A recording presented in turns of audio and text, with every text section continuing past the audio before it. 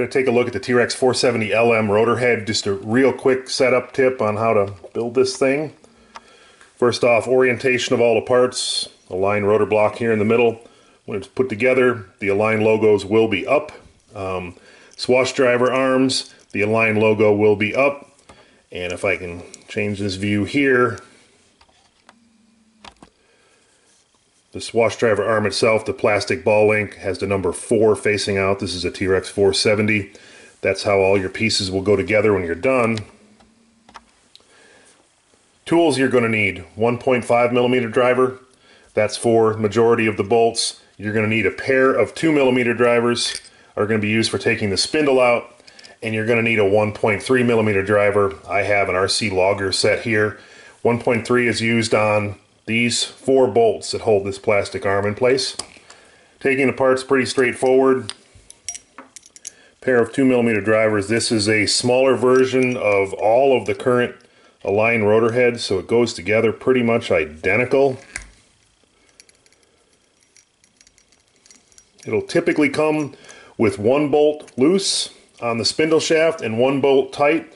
I take the spindle shaft out, typically, and I would grab it here in the center with my ball link pliers and disassemble the far bolt just so I can make sure. So you'd actually have to grab it like this to get the, the bolt out. I've already had this one out, but you're going to want to make sure that you can get lubrication into this thrust bearing um, and then reassemble. The sequence you use is really up to you.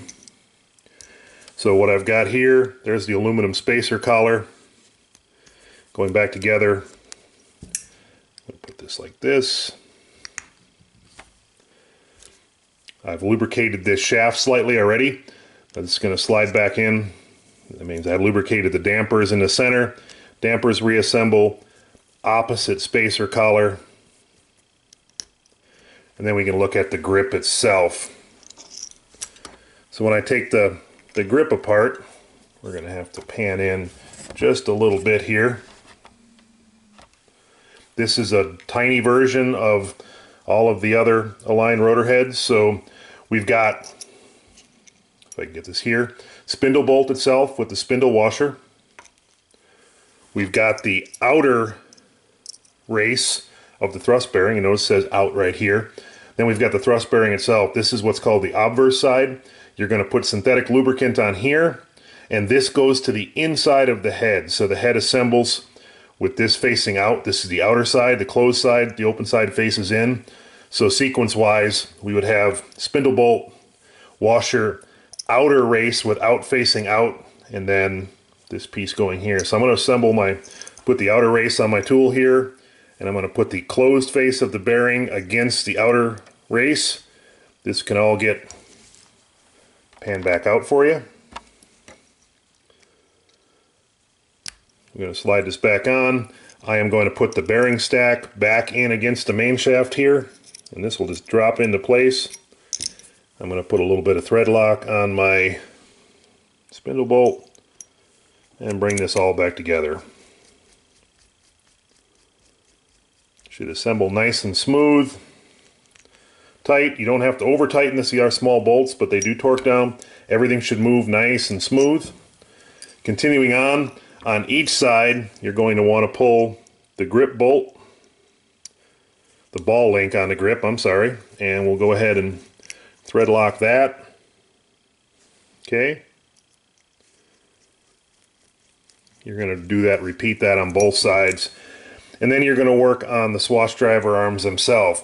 Now we're going to leave the long bolts here loose for the moment. We do not need to thread lock this yet because these bolts here will act as a pinch once the main shaft is installed.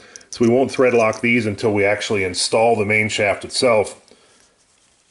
What you are going to do is thread lock the swash driver arms, the plastic bearing, the, the plastic arms here. They've got a bearing and a very small bolt.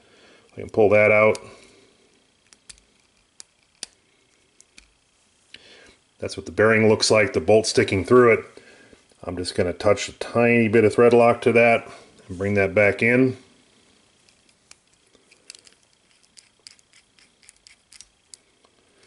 Okay, and you're going to repeat that process for all four of these bolts. There's one on each side. So that when it's all said and done, the line logo's up, line here, Align logo up here, and the number four out. That's your assembly sequence.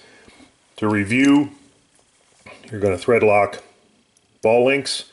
You're going to disassemble the grips, pull them out. You're going to uh, put lubricant on the thrust bearings on each side. You're going to lubricate the spindle shaft and the dampers. You're going to reassemble with thread lock on the bolts on each side. Then you're going to thread lock all of the, the four bolts holding the, this swash driver arm in place. And then we'll get these last pieces once we assemble the head. Thanks.